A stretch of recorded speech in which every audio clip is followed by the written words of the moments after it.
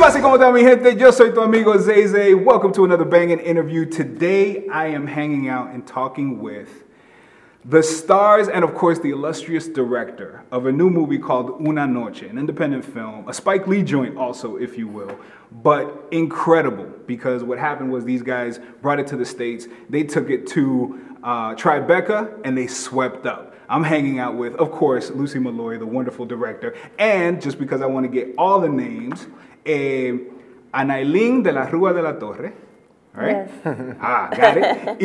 y, of course, Javier Núñez Florian, Yeah, ¿verdad? yeah. Así es. ¿Cómo están? Bien. Yeah. ¿Todo bien? Todo bien, todo bien. Man, a mí me encantó esta película. La vi ayer. Qué buena. Para los que no lo han visto todavía, for those that haven't watched it yet, tell us a little bit about the movie. I'm going to tell you in English.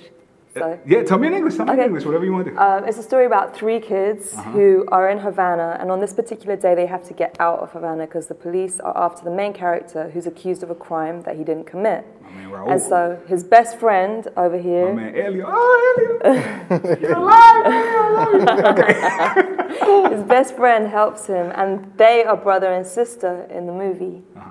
They're twins in the movie. Right. So it's about it's about the relationships between the three of them basically, Sure. and how they kind of change each other and interact with one another. Sure, sure, sure. Now, was shooting this movie in Cuba essential?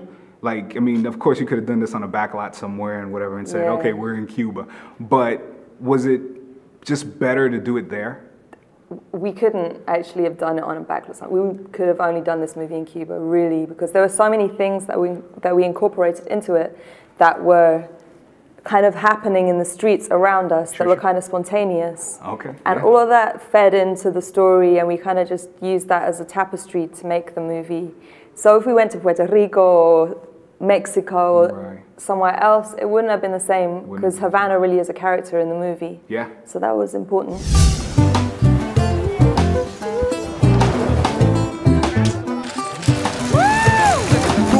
Llena de tradición hermana, donde el impulso que mi corazón reclama. ¿En qué lío tú estás metiendo a Helio? ¿Qué lío ni qué lío, chicas? Si yo no conozco todas esas Ah, bandas. sí, ¿tú crees?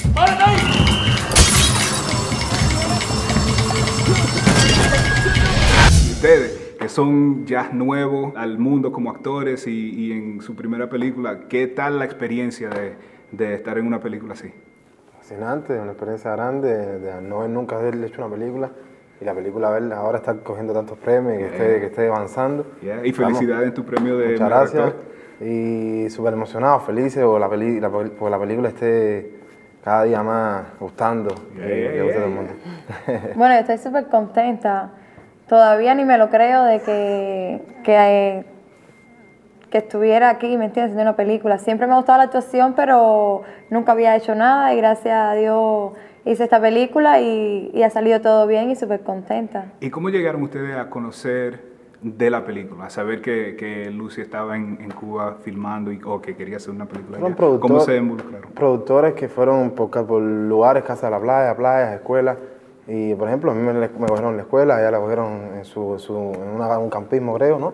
Y así, casa de fueron, la playa. así fueron cogiendo así, el karting que fueron haciendo y haciendo las pruebas y hasta lograr ya que. We went everywhere. We went everywhere Really? where you could find teenagers, basically. Really? To concerts, to parties, to just cinemas. We, and we were giving out flyers. So then everybody came to this theatre uh, on the weekends, and we would have lines of people down the whole street waiting. my and I would do like little improvisation and see who was talented and Got who, it. you know. And then, of course, you found your stars. And they stood out. They were amazing. So was Dariel, who's not here right now. Dariel, that's right, just- that's right. yeah, Dariel, we love you, man, wherever you are.